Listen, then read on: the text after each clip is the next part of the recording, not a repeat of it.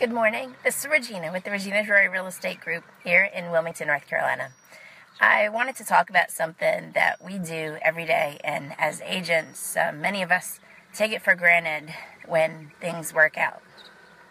And I wanted to talk about um, what's it like when you're trying to time the sale of your house and you're going to buy a house the same day. You know, many people start out with their starter homes, or sometimes they start out with bigger homes and they either want to downsize or upsize. And it's important for families to be able to move from one house into another on the same day. There's a lot behind the scenes that go into that that many don't realize until sometimes things go wrong. So I wanted to talk about it today, and I've thought about it for the last couple of days of exactly how was I going to tackle this um, this topic without making anybody upset. so uh, yesterday, I had four closings, and uh, unfortunately, only one of them was able to make it into their new home, meaning um, they sold their house and they um, made it into their home this morning, not last night. So how does that happen? Well, you know, as real estate agents, many of us that are experienced and do a lot of sales, you know, we recommend to you lenders that we feel have great rates, great customer service, and can get the job done on time for you. You know, that's important, right? Because of course, great rate is is important, but if your family is homeless for two weeks, uh, that's not so good. so I wanted to talk to you about um, you know, basically what happens. So, you know, when you go under contract on the sale of your house and on your purchase, we say to the lenders, here, this is the date that we have to move, and everyone has to work towards this date. Well, some of the bigger banks, unfortunately, like Bank of America, um, sometimes Wells Fargo, and, well, big banks like that, uh, they don't really adhere to our schedules of when we expect to close and they don't give us a heads up many times that we may not close on time. So we typically, you know, recommend to our clients lenders who understand the importance of closing on time, right? Because if you're homeless, well, you're not going to be too happy at that moment. So we recommend to you lenders that we know are going to stick to a schedule. Well, this week I had a couple lenders uh, that I work with that um, there were some glitches. And look, even the best lenders in town, sometimes there, there's glitches. Well, we had a situation that um, I had a client who was selling their house, and I didn't represent their buyer. Another lender represented their buyer. That buyer drove all the way here from Colorado since Saturday, had the moving truck here, was all ready to. Uh, closed on their house yesterday, and we found out at 8:30 the night before that that lender was no longer working for their company and that uh, they didn't get the file completely ready to be able to close.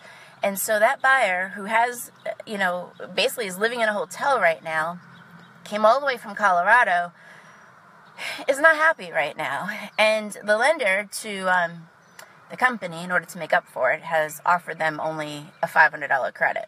So, can you imagine? You thought you were going to close on Wednesday, you find out you're going to close on Monday, and you're only given a $500 credit.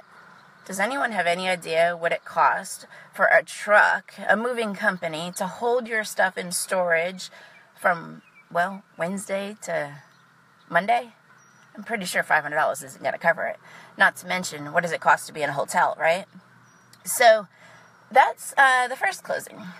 Um, so, in addition to that, I had a client who also had a glitch that caused a delay. And uh, that lender, I want to give a shout out, which is Chris Nagel with Alpha Mortgage. Absolutely phenomenal. Chris made sure that my client's expenses for their glitch was completely covered. And so my client is happily um, enjoying these uh, few days before their closing and is extremely grateful for um, everything that has uh, come into play at this point. So, you know, there's a great example of how one lender took care of a client and the other one said, well, here's $500, good luck, you know.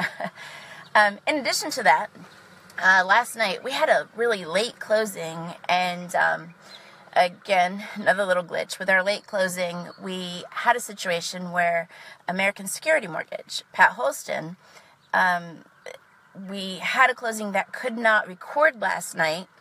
We missed the deadline, and so it couldn't record until first thing this morning, which was about quarter to nine this morning. And Pat Holston said, You know what? I got you, buddy. No problem. My client stayed at a Wrightsville Beach Hotel last night, had a really nice dinner, and you know what? They kind of appreciated that they moved out of their house yesterday, was exhausted from the move, and then, um, you know, got a good night's sleep, great dinner, enjoyed the beach, and then this morning they're moving into their new house. So, you know, again, I just want to give a shout out to Chris Nagel, Alpha Mortgage, and Pat Holston at American Security Mortgage, and say, you know what, guys, I love that you have my clients back you know, you've got great rates, you close on time. It's very rare when you don't close on time. And when something goes wrong, you take care of people. So I want to say thanks to that. Well, I hope everyone's having a great day. Uh, we are about to, you know, get out there, show some houses today, and, um, you know, move on to the next client that needs our help. If you know anyone that's thinking about buying or selling a house, give me a call. Regina Drury with the Regina Drury Real Estate Group. And, you know, whether you want a house in New Hanover County, Pender County, Brunswick County, we got you covered. Give me a call, 910 232 4919. Hey, thanks, Gina. I appreciate it. See you guys soon.